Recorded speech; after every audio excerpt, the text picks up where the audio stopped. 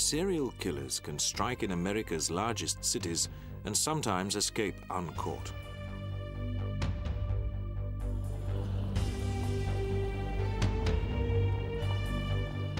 Even though their victims may be murdered within a small area and over a relatively short space of time, it can be difficult for the police to link the killings and then identify one person within a large and shifting population.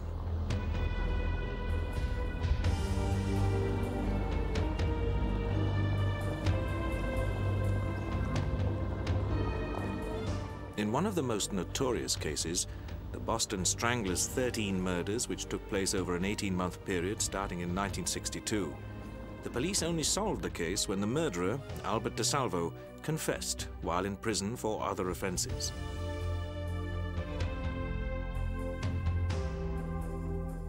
The Son of Sam killings, which terrorized New York during 1976 and 77, saw the police receive letters from the killer which made clear his intention to keep striking with increasing frequency.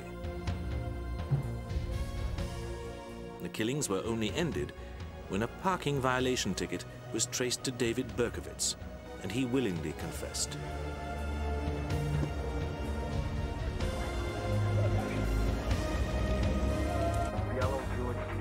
Other cases remain unsolved. Here are four in which the attacks continued after the police investigation had got underway. Each ended with horrific body counts, but no killer identified. In 1990, New York seemed to be facing another Son of Sam, a gunman who attacked random passers-by, causing a wave of terror to sweep over the city. On the 21st of June 1990, a homeless man sleeping on this bench in Central Park woke to find a man standing over him. Without a word, the man shot him in the body with a .38 pistol and walked off into the park. The victim, 30-year-old Larry Parham, survived and was able to attract passers-by. By him, police found a note, which was signed Zodiac, and seemed to show a knowledge of the victim's astrological sign. The gunman signed off with a symbol which had become familiar with an unsolved series of killings in San Francisco some 20 years earlier, by a killer who also called himself Zodiac. But as Chief of Detectives Joseph Borelli pointed out, it also had a more immediately sinister connection. Uh, the first impression, there was a, uh, a sign on the note that's familiar and uh, very close to the sign that uh, was been displayed before that we have received from the uh, person calling himself the Zodiac.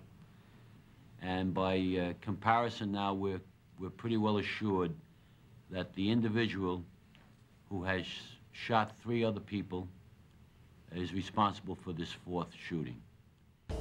All three had occurred in an eight-block area of Brooklyn and neighboring Queens. The first on the 8th of March, the second 21 days later on the 29th of March, and the third 63 days later on the 31st of May. The police noted the regular cycle of 21 days or multiples thereof. All three victims were still alive when found. In the case of the third shooting, of 78-year-old Joseph Proce, a letter by his body had three astrological signs, his and those of the other two victims.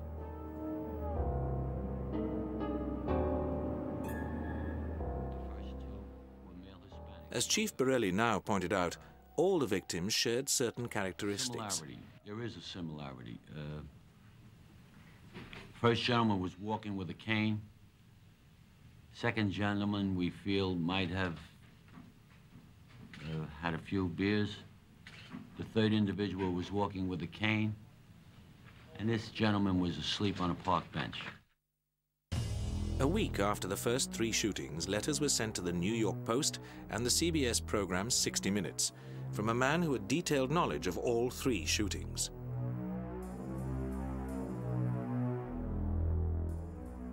The three signs which he put in the circle were found to be those of his first victims. More sinisterly, Zodiac announced that he intended to fill the circle with victims of the appropriate signs. He also claimed to be the San Francisco Zodiac killer, returned to strike more victims as he had promised over 20 years before. Police doubted this, since the victims were sure that their attacker had been black rather than the white male who had been responsible in San Francisco. From their descriptions, the New York Police Department's artists unit was able to create this drawing, which was widely circulated. The artist's unit has a good record of achieving likenesses which have led to many arrests, so hopes were high that there might be a breakthrough.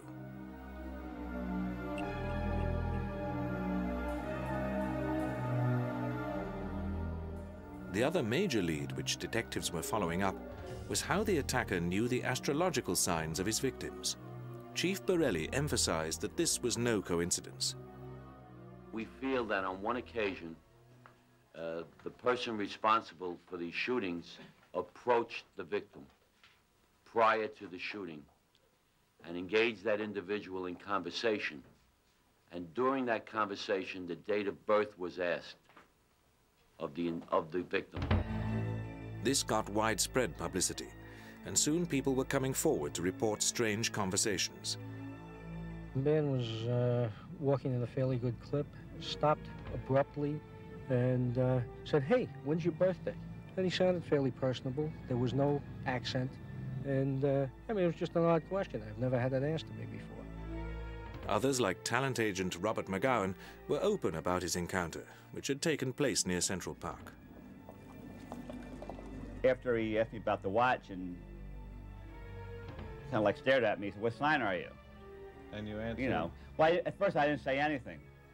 And uh, he said, what sign are you? And I said, you know, I'm, I'm Libra. The police now confirmed that a warning note had been sent to the 75th Precinct in November 1989, but this had been filed as the work of a crank. Within a few days of the fourth shooting, the search had become a murder hunt, when the third victim, Joseph Proce, died in hospital on the 5th of July. Police activity was stepped up, and more officers assigned to the task force. The next day, Mayor David Dinkins offered a $10,000 reward. And the killer added to the publicity by writing again to the New York Post, threatening to keep on filling in his astrological chart and repeating his claim to links with the San Francisco zodiac. Handwriting analysts offered their opinions. He's a very lonely individual since he doesn't relate to people.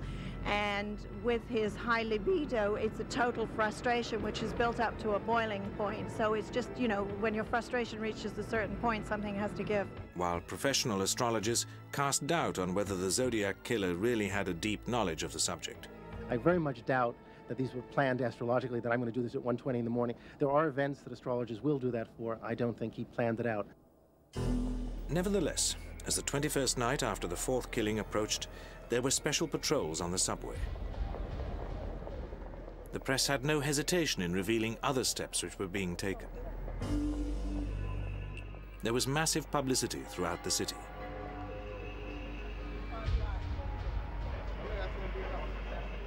The Guardian Angels mounted special patrols in Central Park and other neighborhoods.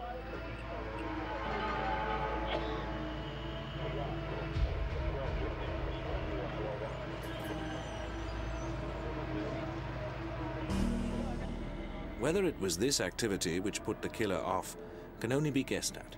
But more than five years later, there had been no further Zodiac killings in New York.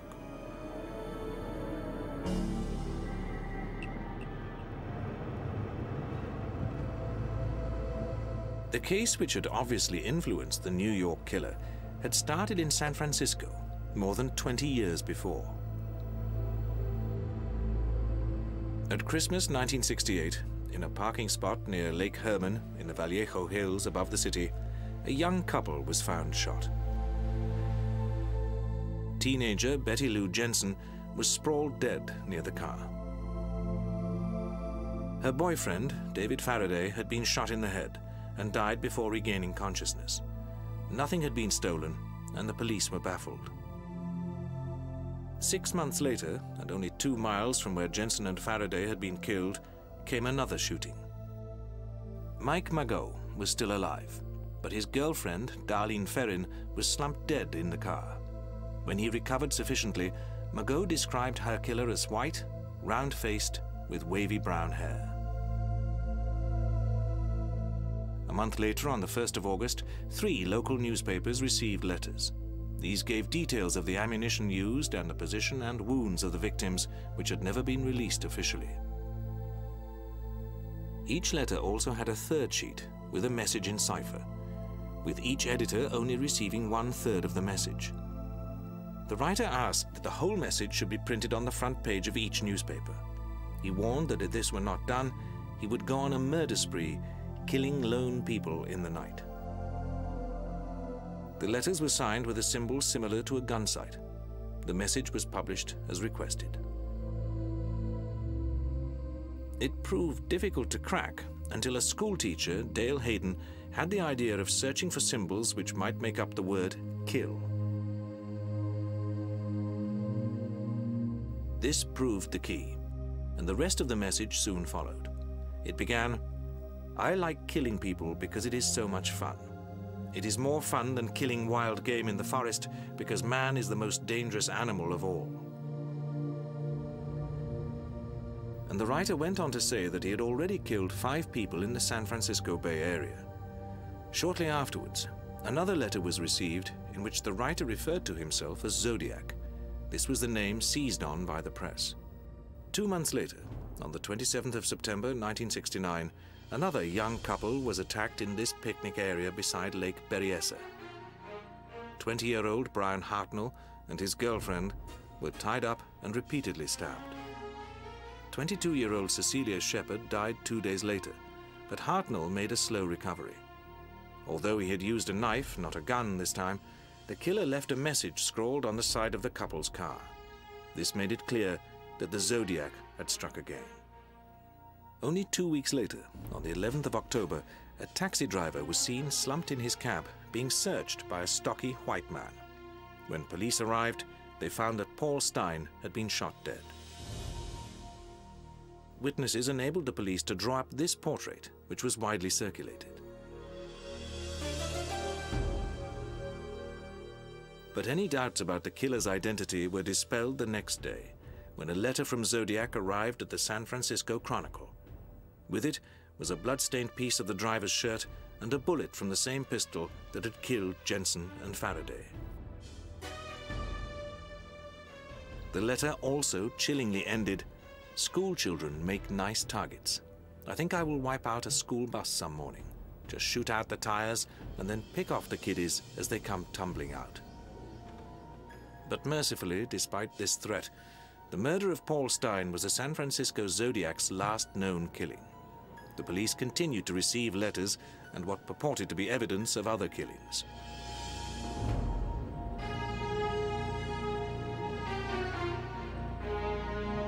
The case remained open, and even many years later, officers still felt it essential to take almost every contact seriously, although none was ever authenticated. Dear editor, this is the Zodiac speaking. I am back with you. Tell Herb Caen I am here. I have always been here. That city pig Toschi is good, but I am smarter and better. For Detective David Toschi, this taunting letter was only one of many leads which had needed to be followed up. For although senior officers believed that the San Francisco Zodiac killer must either have died or moved away, they knew that they could not afford to take any chances. Psychiatrists studying serial killers believed that it would be unlikely that he would have stopped voluntarily. Once serial killers get hooked on murder, their need for the thrill seems to get greater and more uncontrollable the more they kill. The San Francisco Zodiac killings remain an open case. Ironically, probably the biggest series of unsolved killings by a single murderer took place in one of the United States' safest cities, Seattle.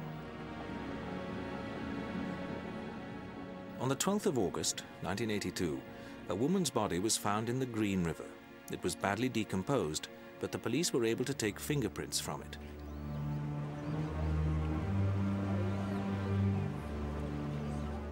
These identified the body as that of Deborah Bonner, a 23-year-old stripper who had a string of convictions for prostitution.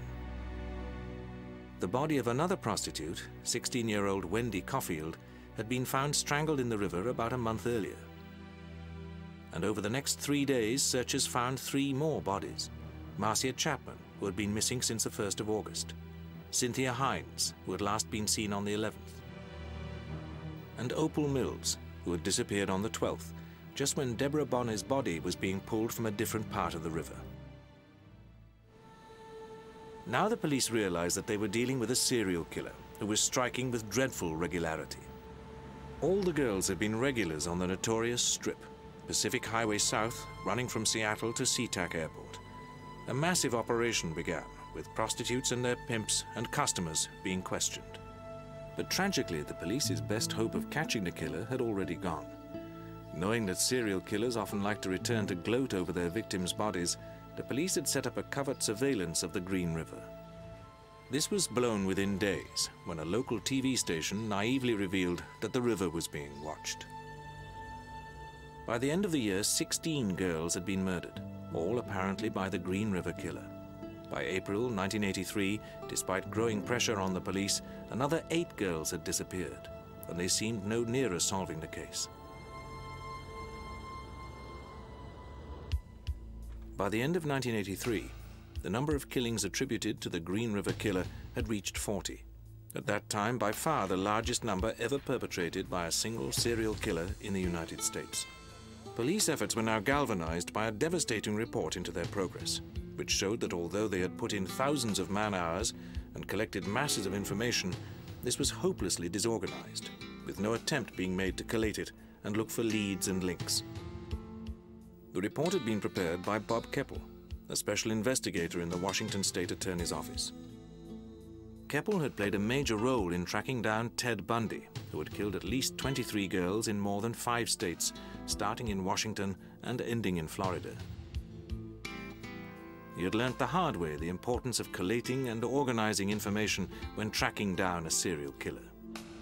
As a result of the report and renewed public disquiet at the sheer volume of girls disappearing from the Strip, a new Green River Task Force was established in January 1984 under Captain Frank Adamson, with Bob Keppel as its chief consultant. Again, plainclothes officers flooded the strip and mixed with the prostitutes and their customers.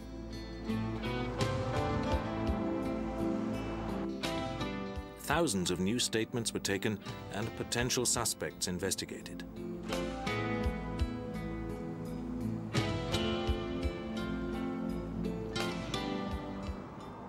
New computer systems were introduced, and special efforts were made to control and sift all new evidence and integrate the mass which had already been collected. For officers such as Bob Evans, it seemed that only one more thing was needed. One lucky break. One individual out there that knows in their heart who's done this and has been reluctant to come forward. This suspect, this individual, has had a remarkable string of luck, and sooner or later, uh, it's going to run out. During 1984, girls continued to disappear, and more bodies were found. The police continued to come up with new suspects, but always the suspect seemed to be able to produce an alibi, and detectives learned to be publicly cautious. We're saying that this is a man that we felt we had to look at at this particular time. We developed a lot of information on, and we're going forward and taking a look at him. As far as viable suspect, I think it's synonymous with person of interest, someone that we are interested in following up on. But as far as saying this is the person that did the Green River killing, it certainly doesn't mean that at all. But by the spring of 1984, the number of bodies being found and girls disappearing had begun to tail off.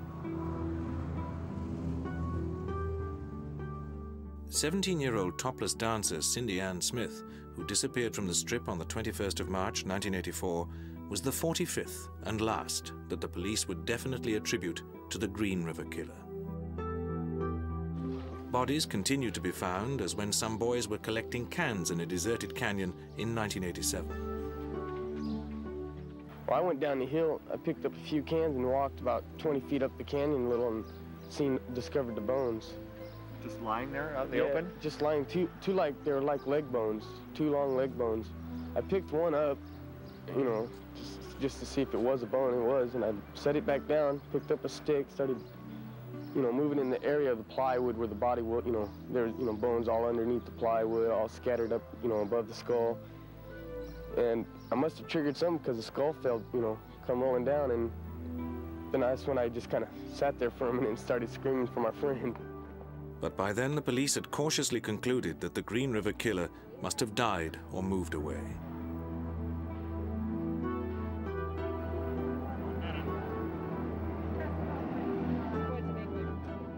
The Green River Task Force was finally stood down in January 1990.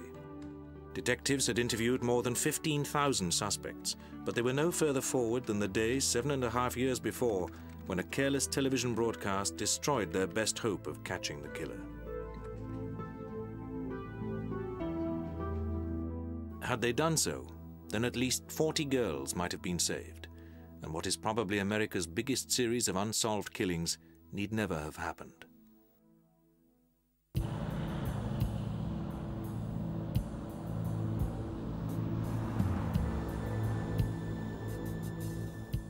For the story did not end in Seattle. A few years later, in San Diego, police were faced with a series of killings which bore chilling similarities to the Green River killings further north. Once again, it was prostitutes being taken from the city's notorious El Cajon Boulevard. They were raped and their bodies dumped on waste ground around the city. By the end of the 1980s, more than 25 bodies had been discovered.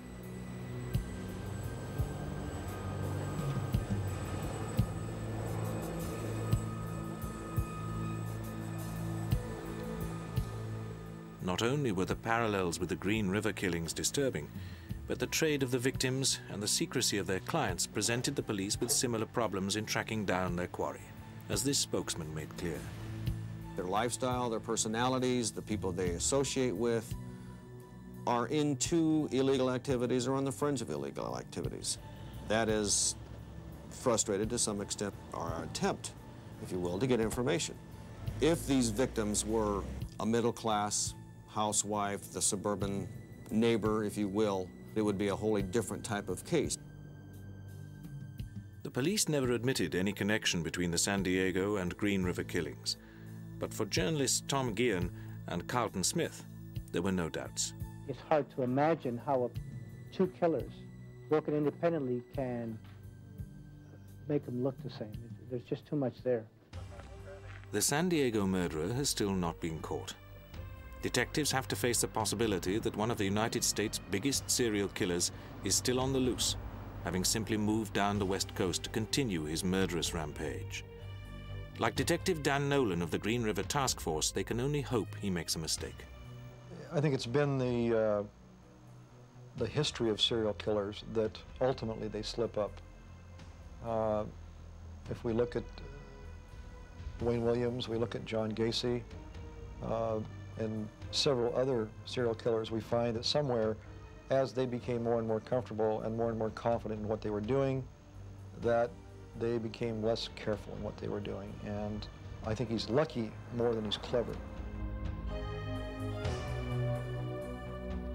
But luck or skill have kept the San Diego, Green River, and Zodiac killers free. Their stories emphasize the difficulties that modern police forces face in trying to track down murderers whose best defense is their apparent ordinariness, their ability to blend into the population of America's great cities. I think the FBI right now, the Behavioral Sciences Unit indicates that there are between 20 and 30 serial murderers operating in the United States at any given moment. Uh, I think that their ability to operate successfully uh, is very much based on the fact that they do fit in the community so well, that they are the person next door. They're the, the clerk at the convenience store, the clerk at the fast food store, the clerk in the bank, or whatever they might be, the, the policeman in the community. They can be any of those people. He could be right next door to anyone USA.